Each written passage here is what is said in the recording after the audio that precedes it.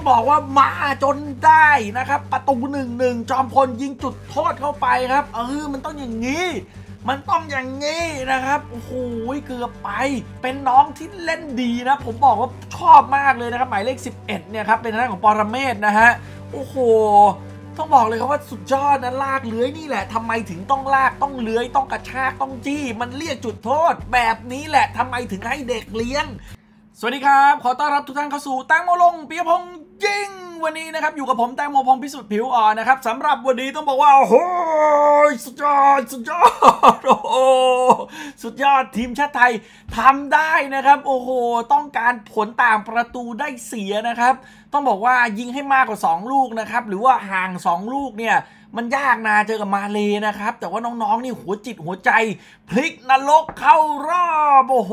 มามันสุดยอดไปเลยนะครับ ไม่รู้ว่าจะพูดคำไหนแล้วนะครับ ก่อนลงสนามต้องยอมรับเลยนะครับว่ามันกดดันนะครับ ทุกคนฮะแล้วมันก็มีเหตุการณ์ต่างๆ นานามากมายเหลือเกิน ที่มันเกิดขึ้นนะครับ ก็ต้องบอกว่าโอ้โหน้องๆ กดดันสุดๆเลยนะครับ แต่ก็ต้องบอกว่าโอ้โหในเริ่มเกมมาเนี่ยในเกมนี้นี่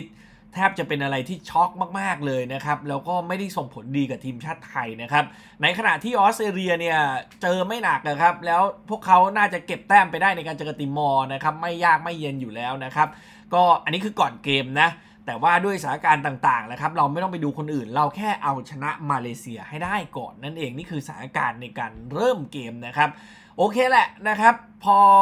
สิ่งต่างๆ มันเกิดขึ้นไปในช่วงตอนเริ่มเกมมันอาจจะไม่เป็นเหมือนที่ใครหลาย ๆ คนคิด เดี๋ยวเราค่อยๆ ไล่เรียงกันไปเลยดีกว่านะครับ ว่าเกมนี้มันสรุปแล้วเป็นอย่างไรในแต่ละครึ่งนั่นเองนะครับ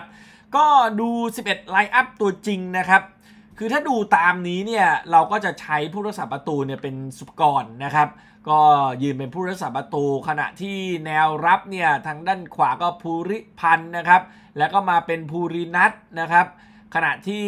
ทางฝั่งซ้ายเนี่ยก็จะเป็นทางด้านของอสุภวิทย์นะครับ ลงสนามเป็นตัวจริงจับคู่กับภูรินัทนะครับ แล้วก็ทางด้านซ้ายสุดเนี่ยเป็นคณพจน์นะครับ อินทสิงห์นะฮะขณะที่ตรงกลางเนี่ยเราเล่น C1 C1 นะเราก็มีชัยวัฒน์นะครับชัยวัฒน์เงินมานะฮะลงสนามเป็นตัวจริงทางด้านซ้ายทางจริงๆแล้วทางด้านขวาเนี่ยเป็นปรเมศทางด้านซ้ายเนี่ยเป็นนัฐกิจนะครับแล้วก็เป็นสรกิจนะครับอยู่ตรงกลางกับดนุพรเนี่ยก็กลับมาลงเป็นสนามเป็นตัวจริงนะครับกับตันทีมของช้างศึกของเรา นะครับจริงๆเกมรุกเนี่ยข้างหน้าก็มีจอมพลนะหลายหลายครั้งเนี่ยทีมชาติไทยทำได้ค่อนข้างดีเลยนะ ต้องบอกว่าทีมชาติไทยทำได้ค่อนข้างดีจังหวะต่างๆนะครับในการเข้าทำนะครับพาร์ซิ่งต่างๆ ในการเจาะเกมรับมาเลเซียมันมีโอกาสมันมีวิธีการมันเห็นหลาย ๆ อย่างนะครับในการเข้าทำนะฮะซึ่งซึ่งผมบอกว่าการการสร้างโอกาสสำหรับน้องๆเนี่ยมันดูมันดูมีความหวังนะ เออมาซ้ายมาขวาพยายามเลี้ยงเจาะเลี้ยงจี้นะครับแต่มันยังขาดไปแบบการรูปแบบในการเข้าทำมันยังขาดรูปแบบในการเข้าทำอยู่พอสมควรอย่างเช่นในจังหวะวิ่ง overlap อย่างทำชิ่งนะฮะตอนนี้จะมีแค่เลี้ยงจี้ เลี้ยงตัดเข้าในนะครับแล้วก็จะมีแทงทะลุช่องพอมีให้เห็นโอเคแหละพอได้อยู่นะครับกองหลังมาเลเซียก็ไม่ได้ดีมาก แต่ของเราเนี่ยมันดันไปพลาดอะ่ะ คือต้องบอกว่าพอเราไปพลาดในช่วงต้นเกมมันทำให้ทุกอย่างยากไปหมดเลยนะครับมาทีที่4เนี่ยเราจ่ายคืนหลังเป็นซูเปอร์บิทเนี่ยนะครับจ่ายคืนให้ผู้รักษาประตู กะจะให้เล่นแบบง่าย ๆ กลายเป็นเข้าทางมาเลยร้องเลยครับ ลูกนี้ครับคืนหลังแบบนี้ โอ้โห ทีมชาติไทยเสียประตู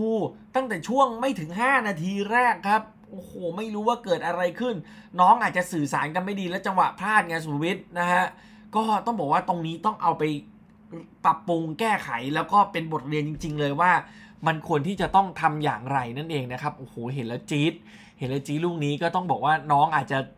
ไม่ทันระวังจริง ๆ นะโอ้โห งานงอกงานงอก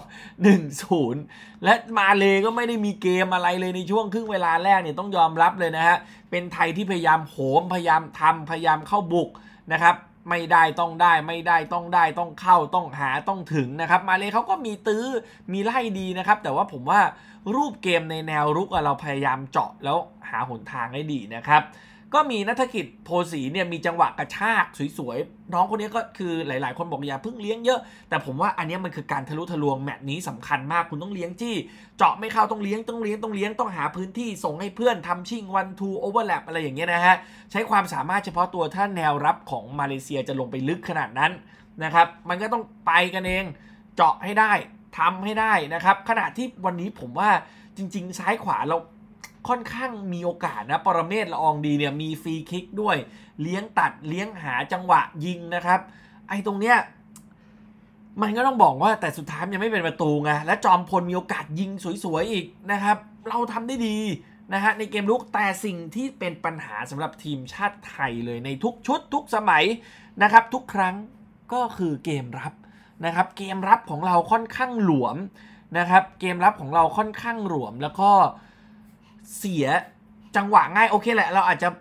ตั้งเกมบุก พยายามบิวอัพเกมนะครับ แต่สุดท้ายแล้วเราไม่ระแวดระวังพอนะฮะแล้วก็ผิดพลาดกันเอง ไอ้ตรงเนี้ยจะต้องทำยังไง จะต้องแก้ไขยังไง โค้ชจะเด็ดอาจจะต้องกลับมาดูซิว่าช่วงครึ่งเวลาหลังเนี่ย มันจะ กลับมาได้ไหมสำหรับทีมชาติไทยโดนนำไป1นศูนย์เนี่ยมันมีโอกาสอย่างน้อยๆ ขอชนะไว้ก่อน ชนะไม่พอก็ชนะไว้ก่อนนะครับเพราะอย่างนั้นก็กอดคอกันตกรอบที่ 1 ของกลุ่มเท่านั้น แล้วก็ที่ 2 ที่ดีที่สุดแค่ทีมเดียวนะครับเข้าไป 4 ทีมตัดเชือก เพราะฉะนั้นแล้วครึ่งหลังทีมชาติไทยต้องกลับมาให้ได้ ต้องแก้ให้ได้ ถ้าแก้ไม่ได้ ตกรอบนั่นเองนะครับ และกลับมาต่อครึ่งหลังนะครับ ต้องบอกว่า โอ้โหโอกาสนี้มาทางฝั่งไทยเลยนะครับ เพราะว่าทางฝั่งของมาเลเซียเนี่ย มาโดนไล่ออกนะครับโดนเหลืองนะฮะแล้วโดนแดงครับสองเหลืองครับ แบบนี้นี่คือเข้าทางแล้วนะครับโอ้โหแล้วเราหน้าที่จะเหลือเวลาอีกเยอะ เหลือเวลาอีกเยอะตรงนี้ต้องทำให้ได้นะครับ คือเล่นไปเล่นมาเนี่ยไทยมีผู้เล่นมากกว่าแบบนี้ก็น่าสนใจ แต่ต้องบอกว่าจังหวะนี้กรรมการนะครับ ไม่ให้ทีมชาติไทยได้ยังไง เรายิงเข้าไปแล้ว คุณเอาประตูของเราไป โอ้โห คือต้องบอกว่าผิดพลาดแบบมหันเลยนะครับ ทีมชาติไทยมีโอกาสนะครับ ส่งบอลเข้าสู่ก้นตาข่ายนะครับ โดยจอมพลเนี่ยยิงเข้าไปนะครับ แต่ผู้ตัดสินผู้ตัดสินตีทองล้ำหน้ามันได้ไงอะครับ โอ้โห นี่ถือว่าเสียหายเสียหาย คือแบบนี้นะครับ คารพจน์ครับส่งมาให้กับจอมพลยิงเข้าไป มันต้องได้แล้วลูกนี้ โอ้โหอย่างเซ็ง บอกได้เลยว่าอย่างเซ็ง นี่คือประตูของไทย โอ้โห โดนลิฟเฉย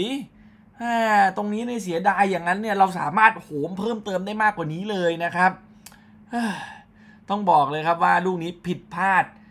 สุดๆครับสำหรับผู้ตัดสินนะฮะ แต่ว่าหลังจากนั้นครับทีมชาติไทยมาได้จุดโทษ โอ้โห นี่คือ จะเป็นจังหวะแห่งความหวังแล้วนะครับ เมื่อกี้ไม่ได้คำนี้ได้จุดโทษครับ โอ้โห ผู้รักษาประตูเนี่ยมีสกิดนะครับ ผู้เล่นของไทยแล้วก็ล้มลงไปนะครับ น่าจะเป็นจอมพลนะครับ แล้วก็ต้องบอกว่ามาจนได้นะครับ ประตูหนึ่งหนึ่งจอมพลยิงจุดโทษเข้าไปครับ เออ มันต้องอย่างนี้ มันต้องอย่างนี้นะครับ โอ้โห เกือบไปนะฮะ เอ้าแต่ไม่เป็นไร มาต่อลุ้นต่อ คือต้องบอกว่าช่วงครึ่งหลังเนี่ยลุ้นโคตรนะครับ แล้วก็จังหวะอีก ตรงนี้เลยต้องบอกว่าโอ้โหหมายเลข 17 ของไทยนะครับศิวกรพลสารตัวสำรองลงมาเนี่ยยิงนะครับขึ้นนำสองหนึ่งโอ้โห